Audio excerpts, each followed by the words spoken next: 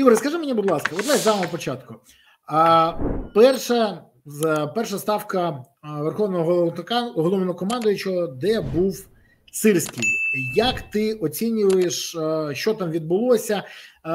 Взагалі, от як вважаєш, як може змінитися фронт при Сирському?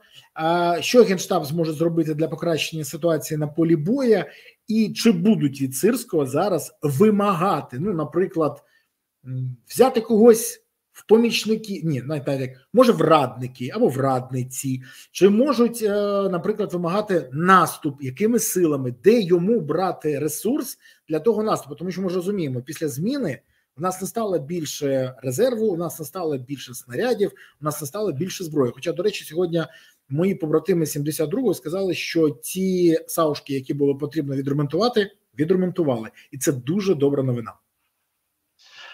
Так, ну давай говорити. Починаємо спочатку. Да, з головного ставка верховного головнокомандувача. Для мене особисто я на це все дивлюся з точки зору людини. Ну скажімо так, з боку, да, з боку. А саме не про те, що там говорили, бо подробиць ми ніколи не дізнаємося. В нас же ж такий витік інформації може бути лише для позитивних блогерів, а не для нас з тобою. Але якщо говорити серйозно, е, склад ставки мене завжди цікавить склад ставки і питання, принципи прийняття рішень. Е, наскільки я пригадую, в складі ставки є дуже багато цивільних осіб, як я кажу, піджаків, які в принципі не маючи ні освіти, ні фаху, але голосують на ставці і приймають рішення. А військові зобов'язані взяти це все до уваги. Ні, не до уваги, а до виконання. Тому от саме в цьому контексті мене, е, скажімо так, напрягає одна історія: це чи зможе Сирський викинути телефон, мобільний телефон Єрмака, разом, можливо, з своїм телефоном і не і не піднімати трубку від політиків під час проведення і планування бойових операцій. І якщо йому це вдасться, або хоча б вдасться відстоювати свою позицію, або зайняти позу того ж самого залужного, який кивав гривою, а робив так, як вважав за потрібне. Е, бо інакше ну інакше ми не вийдемо. Ну давай говорити відверто. Ну якщо тобі сьогодні заставити розбиратися в хімічних формулах е, виготовлення мазі від гімарою, то я думаю, що ти напевно що не розберешся. Ну от десь так приблизно цивільні люди розбираються в стратегічному плануванні, а враховуючи чотирижди ухилянта, в якого тактика, ні, в якого стратегія, ето тактика, то я навіть не можу собі цього уявити. Я пригадую політичне рішення розпіарене на всіх телеефірах е, єдиного марафону, яке називалось фортеця Бахмут. Ми повелися на російську пропаганду е, Артемовськ любою ціною, і в принципі отримали те, що отримали. Е, Зараз е, є історія з Авдіївкою. Ну ти не даремно зачепив. Я думаю, що питання з Авдіївкою також що обговорювалось на ставці. Е, Перші ластівки з позитивного, я хочу сказати, з позитивного 110-ту бригаду певні підрозділи. Перше за два роки Авдіївської м'ясорубки фактично виводять на ротацію, на поповнення, на відновлення. Це позитивно. Але це за рахунок якого резерву знак питання, і чи це не за рахунок третьої штурмової, яку туди завели для. І тепер питання: а для Для того, щоб зробити, скажімо так, стабілізаційні заходи на дуже слабких ділянках, де фактично декілька сотень метрів до перебиття логістичної артерії. І якщо це для стабілізації, то це нормально для відновлення позицій, втрачених там і так далі. Але Далі мене цікавить завжди далі. Бо якщо штурмовиків посадити в окопи, то це мікроскопом забивати цвяхи. Е, ми це бачили, до речі, минулого року в Солідар. Десантно-штурмові війська. Е, так, ми сточили колосальну кількість е, вагнерівців. Фактично, вагнерівці перестали існувати як бойова одиниця. Але давай говорити відверто: Десантники мають робити те, на що вони заточувались. Спецпризначенці мають виконувати функції, як кажуть, ювелірів. Та сили спецоперацій мають проводити спецоперації, рейди в тилу ворога. Ну і далі по тексту. Тому я зараз на цю історію дивлюся як на історію з продовженням. Якщо після е, звершення стабілізаційних заходів третя штурмова вийде, а туди зайде мотопіхотна бригада, я це зрозумію. Ну тобто, це те, хто на що затачувався. Бо в штурмовиків навіть і підтримки такої мотопіхотної нема. Ну давай говорити відверто. Те, що в них є, воно предназначене для штурмів, а не для оборонних рубежів. Вони ж не закопають між будинками там Бредлі. Ну, наприклад, а вони ж не закопають їх там. Тому ця історія має мати продовження. Е, що стосується інших напрямків і ставки першої ставки з Сирським, я ще раз наголошую. Я думаю, що там обговорювалися політична складова е, фортеця Авдіївка. Вже я все таки думаю, що там вирішувалось питання щодо іншого напрямку, який називається Харківський напрямок, зокрема Куп'янськ. Бо наша розвідка Богу дякувати не продрушляла е, збирання кулака у вигляді 500 танків і 40 тисяч особового складу на Куп'янському напрямку. А зважаючи на те, що скоро в Путіна вибори. Я можу передбачити лише один сценарій з боку Росії: намагання любою ціною взяти якісь населені пункти, можливо, навіть Куп'янськ, не знаю. От, хоча по часу навряд чи в них це вийде, але тим не менше, намагання любою ціною взяти щось на Харківщині, щоб потім в своїй сранній конституції розповідати про те, що Харьковская область это Российская Федерація, а Харьков временно контролюють е, українські війська. Ну, десь так вони розповідають про Запоріжжя, десь так само вони розповідають про Херсон. Е, тому, от саме в цьому контексті я би був би дуже уважний. Ще раз наголошую, дякую головному управлінню розвідки, що не профукали цей момент з зосередженням резервів у росіян. З другої сторони, ну я був би не об'єктивним, якби я пробачив би головному управлінню розвідки ситуацію з тунелем біля Авдіївки, під Авдіївкою, фактично під нашою тою головною лінією оборони на північно-східному напрямку е, міста Авдіївка, де росіяни тунель розчистили, відкачали воду і зайшли фактично в тил. Е, нашим підрозділам, які обороняють лінію ще з 2014 року, тому от знаєш, де треба похвалити гур, треба похвалити. А де треба дати подзатильника, то я вважаю, що треба дати подзатильника. Що ще з таких викликів? Ну я казав, якщо політичні телефони перестануть дзвеніти в кишені головкома, то перспективи в нас е, можуть вимальовуватися, скажімо так, ну стратегічного замислу, планування з боку фахівців, а не з боку піджаків на кшталт там, я не знаю, хто там Умєров там у нас на голосування може голосувати. Єрмак в нас в ставці може голосувати. Хто там ще в нас Камишин, якщо я не помиляюсь, може голосувати. Мінцифри Федоров може голосувати. Ну тобто розумієш, да? Тобто ми говоримо про те, що рішення приймають не військові, а приймають політики, які взагалі не бельмеса в цьому не розуміють. Оця от історія може відіграти з нами ну досить злий жарт. І тут питання навіть не в прізвищі головкома, а тут питання в самому принципі управління війною. Так, принцип управління війною. От я би так це назвав би. Звичайно, був би в нас стан війни, на ставці не сидів би жодний піджак. Знаєш, тільки так, по визову. Так, Камишина, ну йди ну доповідай, що в нас там з тим-то, тим-то там. Федоров, так, де дрони, йди ну доповідай. І все, доповів і в екс кабінета, щоб навіть і не знав. Бо потім виясняється в якійсь газеті, в якомусь Нью-Йорк Тайм. Вже розповідають, що в нас на ставці було. Ще Ми з тобою тут нічого не знаємо, а а в Америці вже знають. Ну, чесно кажучи, цей тришняк потрібно припиняти, тому що це ж воно ж підриває довіру і в солдата також. Друже, мене не дуже хвилює, коли це знають в Америці. Мене бентежить, коли це знають в Москві. Оце найгірший варіант. А в Москві на... знають раніше. В Москві так, знають раніше. А на жаль, це інколи буває, і в мене запитання. Ну, наприклад, це як при по прильотах по об'єктах е, державного підприємства Луч е, КБ Луч коли прильоти були настільки влучні, що всі розуміють, це було наведення. Але і наведення ну це мог зміг зробити не якийсь там пересічний громадянин, який сидить десь там а, в полі і шукає, де ж ці замасковані об'єкти. Ні, ні, це хтось на вищому рівні. Але тиша нікого нема, нікого не шукають. Дивна історія. Так, слухаю тебе. Держаудитслужба, що ж її шукати? Вони ж опублікували е, фірми, назви фірм, юридичні адреси е, контрагентів КБ Луч. Я вже знайшов.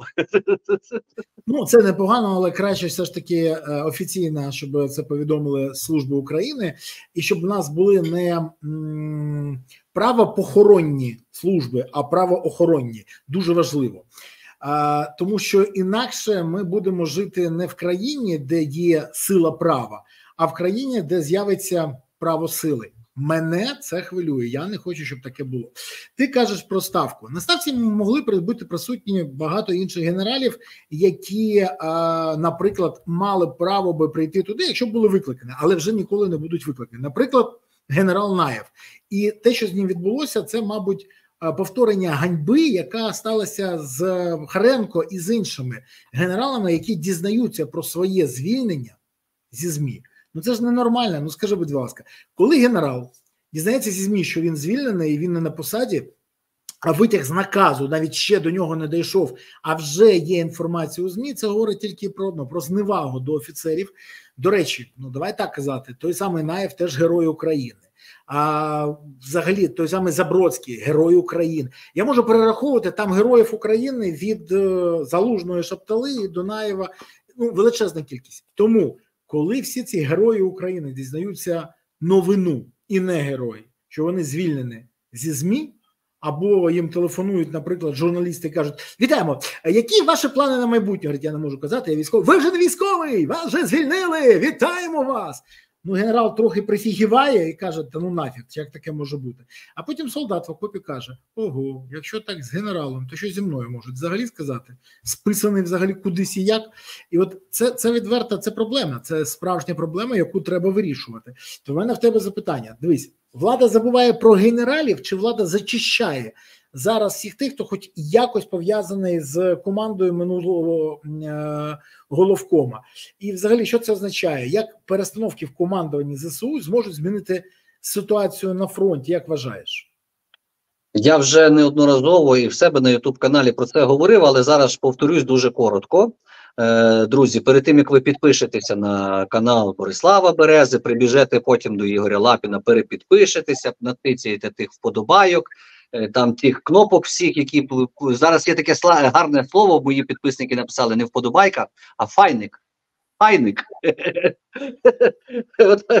Велика наша мова українська. Отже, дивися, друже. Ну, перше, коли плюють на спину генералу, це говорить про те, що він все ж таки попереду. Це вже для мене такий сигнал, що ті, хто плюють, вони плюють ззаду. Розумієш, а ми, значить, щось правильне робимо. Далі питання: чи це зачистка? Так, це зачистка. Чому? Так це ж все ж друже, дискредитовуючи таких генералів, це ж фактично зачищається поле для подальших кримінальних проваджень, щоб вони не свідчили про підготовку до війни. Саме ці генерали прийняли на себе перший удар по обороні організації всього, що відбувалось в Україні, і ми бачимо, що не тільки генерали. Дуже багато командирів батальйонів на сьогоднішній день є під кримінальними провадженнями. Бойові офіцери, кавалери, кавалери орденів е, Богдана Хмельницького, там на кшталт того ж самого е, Тумана, чи їжак, той, що Київщину обороняв разом зі своїми їжаками і так далі. Тобто дуже багато людей зараз, я тобі скажу, зараз в наших е, фактично як ж їх назвати правильно, ну дізбат, назвемо їх по старинці. Да? Дуже багато військових, і я реально бачу, що скоро будуть нові будинки будувати для того, щоб їх там десь розміщати. Е, причому е, левова частина кримінальних проваджень це повний треш. Ну на кшталт сьогодні Боря Філатов себе опублікував. Можливо, ти бачив, може не бачив. Що поки вони там витягували людей з лікарні, намагалися врятувати там дітей зі школи і так далі. Відключали опалення, бо ж е, ТЕЦ розбомбили там і так далі. СБУ з рулеткою ходило на смітниках Дніпра вимірювати діаметр гілок, чи та не дай Боже там не було розкрадання дров. Ти собі уявляєш, СБУ з рулеткою міряє діаметр гуляк на смітнику біля Дніпра. А я бачив той смітник, там здоровий смітник. Такий він такий великий. Тому я до чого просто веду. Ти бачиш, що зараз відбувається в країні. Ну але повертаємось до генералів і до зневаги. маленька, коли ти кажеш, що СБУ приходить до Філатова і там міряє щось з я можу тобі сказати, що, наприклад, а коли Нацпол приходить під замовлення конкурентів до а, балістики, а це структура, яка торгівельна, є тому, що не витримує конкуренцію по ціні та якості. Це як називається? І балістика каже: Вибачте, в нас обшуки, ми не працюємо. Конкуренти замовили, тому вибачайте. Ну, поки ми розберемося, поки все інше. От що відбувається взагалі? Ну, це відбувається в найкращих традиціях е, Російської Федерації. Саме таким чином можна спровокувати вибух всередині України всередині фортеці, яка обороняється, і вони це роблять. Ти розумієш? Вони це роблять, але повернемось до генералів. Ти бачив так. цю фоточку з новими генералами? Да? Тобто фоточка реально крута. Там дуже багато бойових людей. Я вам кажу, там і Бурсук наш є, Вадим Сухаревський, і багато тих, кого я особисто знаю. Фотка суперова. Там тільки одну персону треба викреслити. Ні, ні, не Зеленського, ні, ні, Боже збав, він верховний. А саме командуючого ТРО, главного мусора по зачистці е, майданівців біля урядового кварталу. Отак я хочу це сказати і хочу, щоб всі зрозуміли. Тому що мене е, ти знаєш, ТРО це оці мобілізовані, які мотивовані, які стояли в чергах. Їх же ж не заганяли, як то кажуть, по спискам в резерв першої черги, бо там була інша категорія людей, тобто які попадали в сухопутку. А в ТРО йшли якраз хлопці від від плуга.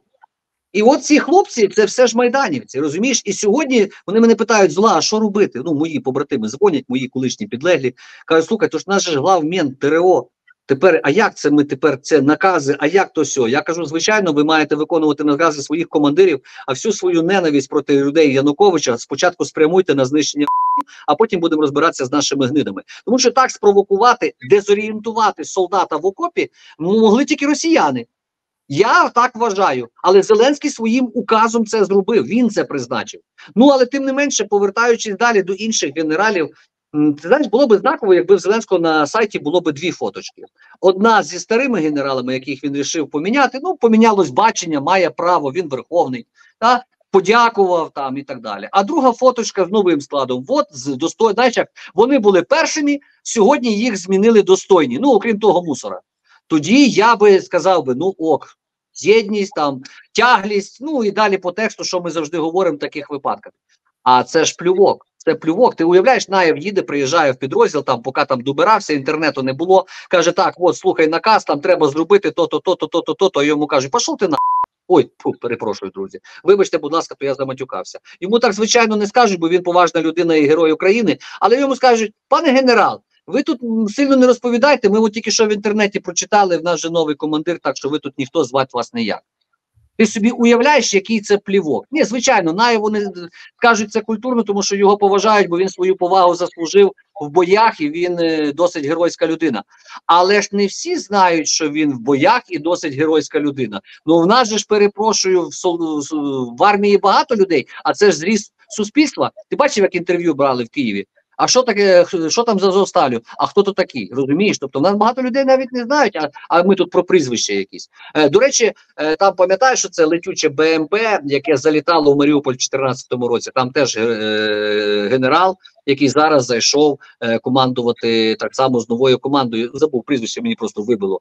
От е, я до чого просто це все веду. Тобто багато хороших людей було, і багато хороших людей прийшло. Питання не в тому. Рішення президента має право і все. Ми зупинилися. Виконувати накази сержанта, виконувати накази командира роти, командира батальйону, комбрига і так далі. Далі по ієрархії. Ми це звичайно будемо, але навіщо ламати людей через коліно? І я пригадую, як Муженко приїхав на міжнародну зустріч, і йому кажуть, пане генерал, але ви вже ніхто вас звільнили. Отут в медіа прочитайте. Розумієш, тобто людина це це плювок перед міжнародними партнерами. Це ну це ну це просто це це взагалі на голову не налазить. О, До речі, ще не можу не згадати тезу про порадників, яких можуть напхати сирському. Ну за одну порадницю це вже не не я думаю, ти теж ще чув. і Я це чув. В нас там одна порадниця зараз дуже прямує сімімільними шагами. Ну, якщо заставлять, якщо Сирський на цю хрень поведеться, яку звати безумна, і вона отримає корочку порадниці. Ну ну все, ну що я ще скажу? Ну я нічого не скажу. А ти що скажеш? Я можу сказати, що це буде дуже безугле рішення яке буде настільки безугле, що може ставити хрест взагалі на будь-яких думках про самостійність сирського, і я не уявляю навіть, що він після цього повинен казати, якщо в порадниці себе собі візьме людину, яка послідовно дискредитувала армію, яка послідовно брехала про армію і головкома, яка послідовно працювала е, в мінус проти армії. До речі, вона сьогодні знову написала новий допис. В цей раз вона зачепила Дмитра Христюка, е, це чоловік е, Вікі Сюмар, і вона почала відверто брехати, знаючи, що він воює, і знаючи, що він не нагороджений саме за війну. Вона почала брехати, розповідаючи, що він в тебе в ТЦК СП е, сидить. Ну я не розумію, навіщо це робиться. В ТЦК СП теж є нормальні люди, і вони працюють, вони повинні працювати. Е, я нещодавно був в ТЦК. Я можу сказати, хлопці, які отримували отримали серйозні поранення, зараз працюють в ТЦК, і я це бачив особисто. І це треба з повагою ставитись до них. Але коли намагаються показати як комбат. Саме комбат, який воює, який захищав Київщину, який воював на Луганщині, на Херсонщині, який воює зараз, виконує спецзавдання і особисто приймає участь у бойових діях, навіть не планує в штабі, а приймає участь. І вона пише таку брехню про нього. Ну, мене здається, це навіть не від здорового глузду. Це це вже повинні займатися не ми з тобою, не наше суспільство. Це фахові психіатри повинні робити. Але владі потрібні такі е, говорячі голови, тому поки їй займаються ті, хто ставить завдання, а не ті, хто повинен її лікувати. Ти чув висловлювання Трампа по відношенню до Нікі Гейлі щодо її чоловіка? Чув Так. цю історію? Чув. Так. Чувак реально, чувак реально воює. Тут там, кандидат в президенти просто бере, обсирає солдата армії своєї країни. Ну, Дурні ну, часи, дурні часи, дурні заяви. Ну що я можу сказати? Е, треба, щоб вона все ж таки брала е, зразок, з якого вона копіює свою поведінку з кращих, а не з того, що зараз відбувається. Хоча, знаєш, я не дивуюся. Фріки вони завжди є, були і залишаться.